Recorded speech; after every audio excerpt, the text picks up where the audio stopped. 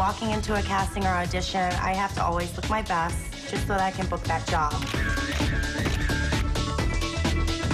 Keeping my nails looking good is actually part of my job. When I'm on jobs, you know, the clients are looking at my hands, so it's really important for me to keep my nails looking good.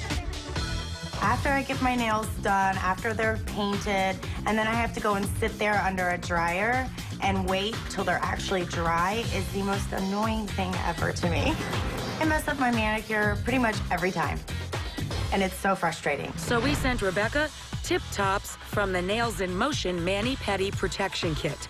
It claims to protect your nails until they've dried and hardened. Definitely not what I expected at all. They're very strange looking. Nails in Motion Mani Pedi Protection Kit. And let's see how these work.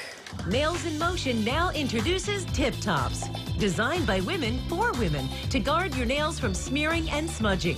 Simply place a Tip Tops nail protector under each finger before you treat your nails. Snap it closed and then turn it after your nails are done. Tip Tops protects your nails until they have dried and hardened. I'm very interested to see if, like, when I go in my purse or to grab something, if it actually protects and covers. Ready to try. So we're gonna test it out to see if it actually works. So I'm gonna slip these on. So far, so good. No smudges. I have in my purse. I've gotten keys. I, so far, it's worked. I'm pretty impressed. I was definitely challenged with my coat. Putting it on was simple, but having to button because you can't really grasp the button as well. I can do pretty much everything with them, so definitely willing to try it again and use them in the future.